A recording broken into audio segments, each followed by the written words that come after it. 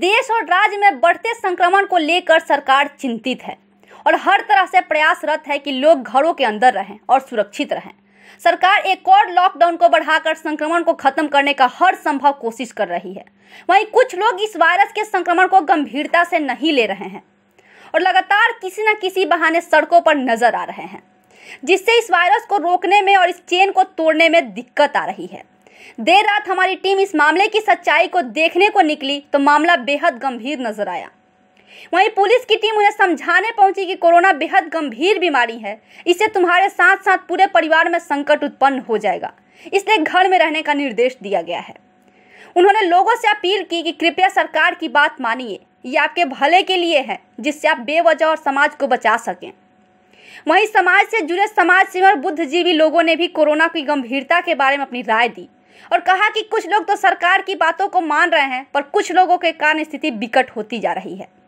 देर रात मौके पर नामकुम थाना पहुंचकर सभी संदिग्धों को सीएचसी नामकुम भेजा और सभी को हिदायत दी कि आप सभी घर के बाहर नहीं निकलेंगे और कोविड 19 का जाँच रिपोर्ट थाने में आकर जमा कराएँगे। तो कोरोना जैसे वैश्विक महामारी से सारे पूरी दुनिया त्रस्त है और उस जगह में भारत भी उससे जूझ रही, जूझ रहा है। और इस दिशा में कोरोना का जो चेन है वो ना बढ़े बीच में टूटे इसके लिए माननीय प्रधानमंत्री जी और तमाम पूरे देश में देश की पूरे राज्य की सरकार सरकार लगे हुए हैं ताकि कोरोना जैसे महामारी से कम से कम आ, हम बचे हमारे लोग को बचा पाए। कुछ लोग तो इसकी गंभीरता को समझ रहे हैं कुछ लोग इसको मज़ाक के तौर पर ले रखा है। कहीं कहीं बीच में सड़क में या कहीं कहीं जैसे कल शाम की मतलब शाम की ही घटना जो थी आ, उसमें आ, ये था कि कुछ लोग कोरोना का जो लॉकडाउन है लॉकडाउन के बाद भी लोग आए हैं और रह रहे हैं। तो इसमें जो रहने वाले लोग भी और जो रख रहे हैं वो भी आ, सारे लोगों से गुजारिश करेंगे कि भाई आप किसी को भी रखें तो उसकी पूरी जानकारी लेके रखें क्योंकि ये बीमारी कब किसके साथ और कैसे आएगा हम नहीं जानते हैं। और इसका एकमात्र उपाय है सावधानी। अगर सावधानी हम सावधान हम रहेंगे तो खुद का बचाव करेंगे, अपने परिवार का बचाव करेंगे, समाज का बचाव करेंगे और देश के साथ जो जो संघर्ष में जितने योद्धा खड़े हैं उसके साथ रहेंगे। किसी के भी घर में बाहर से आकर के कोई रह रहा है तो उसकी जानकारी प्रशासन को दिया जाना चाहिए, खास करके पिछले दिनों कोरोना वायरस को लेकर जिस तरह से पूरे देश में माहौल फैला हुआ है और ख़ास करके झारखंड में दिनों दिन इसके मरीज़ की संख्या बढ़ रही है तो ऐसे में चाहे किसी के भी घर में कोई भी बाहर से व्यक्ति रह रहा उसका पूरा का पूरा सूचना प्रशासन को देना चाहिए। और अगर ऐसा वो नहीं करता है तो इसका पता करके हम सभी लोगों को जो आसपास में रहते हैं, उसको इसकी सूचना प्रशासन को देनी चाहिए।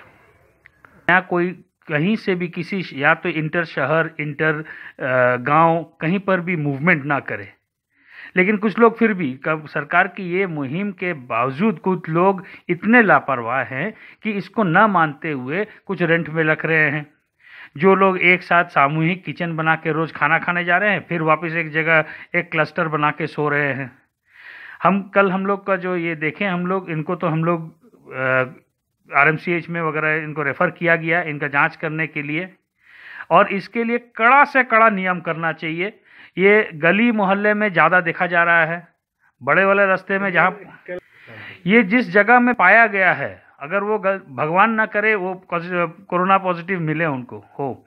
लेकिन अगर गलती से अगर वो कोरोना पॉजिटिव पाया गया तो आप जान के देखिए, ये एक इंडिया में सबसे बड़ा आटम बॉम्ब जैसा निकलेगा, क्योंकि यहाँ क्लस्टर हाउस है। और यहाँ सारा पूरा चीज़ वो सोशल जिसको हम लोग सोशल कंटेमिनेशन बोल रहे हैं, वो सोशल कंटेमिनेशन का ये पहला केस हो जाएगा। रांची से राकेश कुमार की रिपोर्ट।